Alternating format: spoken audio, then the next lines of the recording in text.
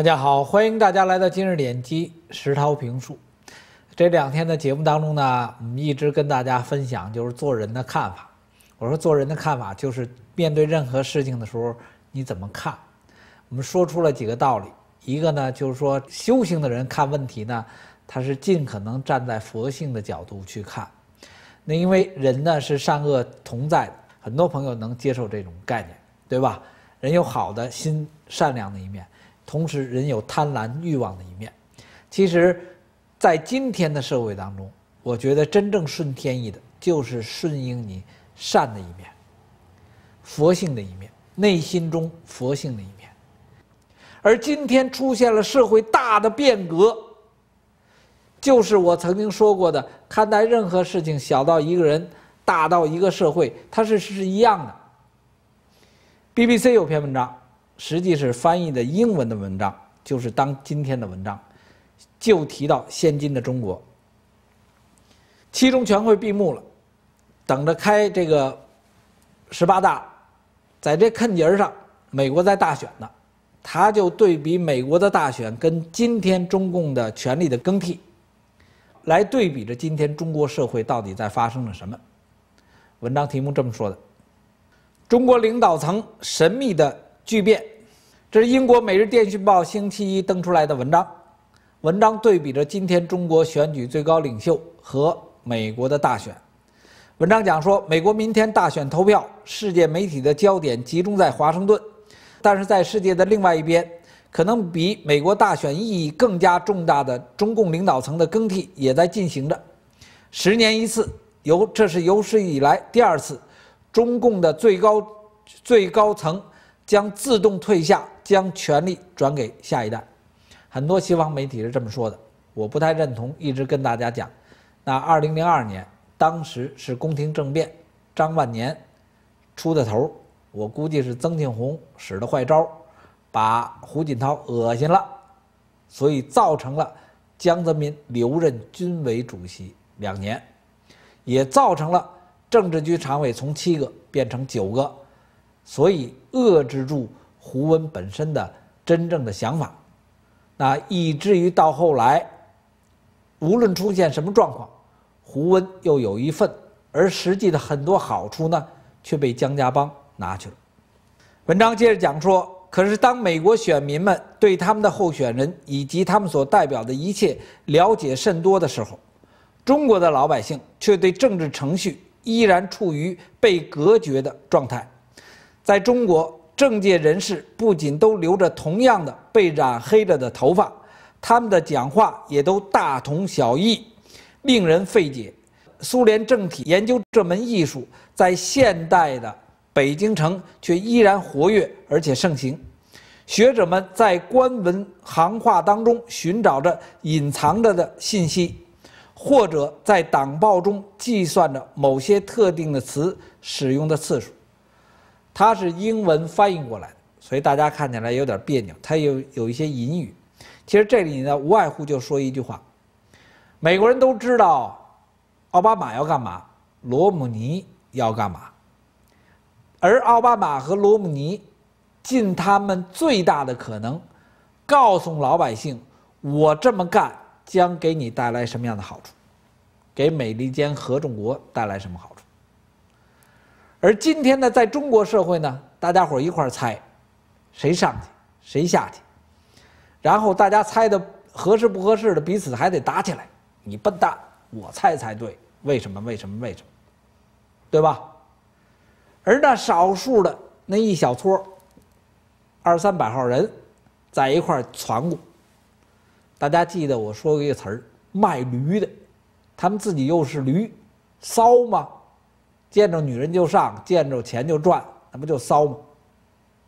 同时呢，他们又是卖驴的，你卖我，我卖你，黑箱操作。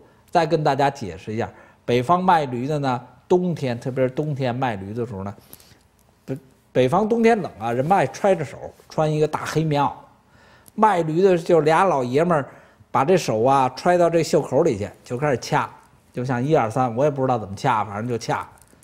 掐好了，咔嚓一使劲儿，这驴卖了，卖驴的，就是这么回事儿。老百姓还算那头驴牙口怎么样？看清楚没有？所以我们在看中国的领袖们，就像他们驴似的，牙口怎么样？掰开看了没看清楚？有个虫牙保不齐，不对，你眼花了。咱们看领袖们，咱们的领袖是这么出来的。但是呢，咱们没权利吗？怎么办呢？咱们又没事儿干，因为被人给控制着呢，所以就弄点什么，无论是歇后语啊，还是呃骂人不吐脏字儿啊，来解解心头之恨。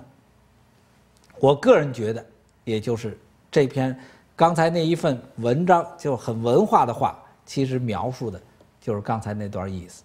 文章接着讲说，当中国共产党小心翼翼地拼凑着这些最高领导人的个人简历的时候，人们对许多可能领导人的妻子的了解，比他们的观点看法了解的就更多。这是西方人的写作的方式。西方人呢，很愿意把家庭的一些事情呢，人性的一些事情呢，呃，带到他们呃政治的领袖当中去，那表现出亲和和非常自然的那一面。所以这是他，呃，我个人看法，这是他，呃，英文在就就是正常的社会当中，在看待一些政治事务的一些社会的习惯。文章接着讲说，今天的，每一个中国人都在问，新的领导人是否会带来变革呢？如果中国有任何的指导思想，那么这个思想就是改革，是进步的关键。他说：“当然，当胡锦涛、温家宝十年前上台的时候，人们同样抱着同样的期望和想法，当时叫做胡温新政。我们现在看到这个场面，就是这个场面。那所以我们也一直跟大家讲，说不是向着习近平，向着谁？不是，我们只是说希望。”能够顺天意而为之，正像我刚才提到，应该顺着自己人性、佛性的一面、善良的一面去做事。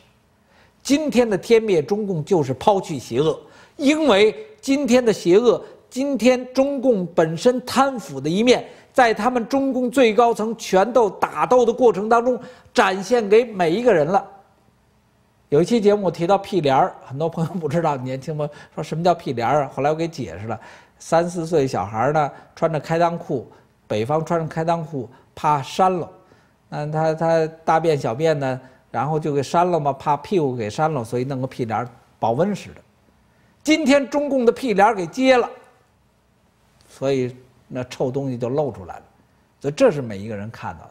我想说的是这么个意思，所以原来一直挂一屁帘儿。一边一一走一忽闪，一走一忽闪，那小孩走可不就一走一忽闪吗？觉得还挺是个，是一道风景。今天我们看到的是这个概念，这就是我说的抛弃邪恶的概念。《每日电讯报》呢还写到说，中国共产党对国家的行政、司法、立法三大部分保持着绝对的权威的时间越长，官员的贪污腐败就越根深蒂固。要打破他们的权力网也就更难。其实今天已经到了极端化，国有企业的家庭化、家庭占有化就到了最极端化。家庭占有中中共的家庭占有着不同的大型国有企业，成为了他们赚钱的机器，但他们是以国家的名义，以中华人民共和国的名义，以爱国的名义，以爱党的名义。这已经到了最根深蒂固和绝对化，没了。你往下怎么走？往下走的只是他们彼此之间的打斗和彼此之间的那种吞食。现在的场面，二零一二的场面就是吞食的过程，打斗的过程。这就是我说，天灭中共在今天已经走到了每一个人都看得着了。你看不见叫睁眼瞎，你看不见是因为。你不明白。文章紧接着就提到说，今年以来，中国经历了种种政治风暴，那中共高层各大家族的腐败行为相继的被揭示出来，这种被揭示是与他们之相互之间的打斗是直接相关联的。文章后面紧接着就提到另外一个概念，就是习近平到底往哪儿走？讨论习近平往哪儿走的时候，提到一点，政治局常委从九个。又改回了七个，就否定了当初江泽民的做法。紧接着又提到了胡德平，胡德平作为中共党内的改革派的代表，成为了一个标志式的人物。这就说再次对习近平抱有希望。但是经历过胡温新政的年代和时代呢，人们都抱得谨慎了。所以文章最后他这么讲的：即便大多数人认同改革的必要，但是障碍如此之大，以至于许多中国人认为局面恐将难以控制。正如温家宝现在所触到的事情一样。共产党高层的家人掌握了整个经济战略的制高点，正在积攒着巨额的财富。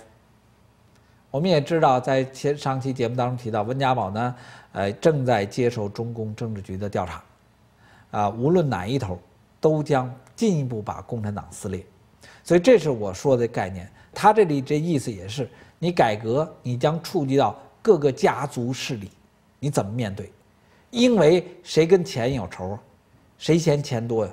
这是麻烦的事情。所以文章最后就是这么说的：任何新的领导人要打破他们的利益王国，将在掌权者的家族之间引起纷争。仅此一点，就会让新的领导人无法真正的改革，否定了改革。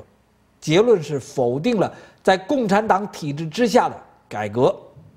你唯一的出路就是否定共产党本身，改变国号，否定整个共产党曾经的一切，别无出路。这是《每日电讯报》在中共十七届七中全会结束的第二天，星期一写的一篇文章。那好，这期节目就到这里，谢谢大家，再见。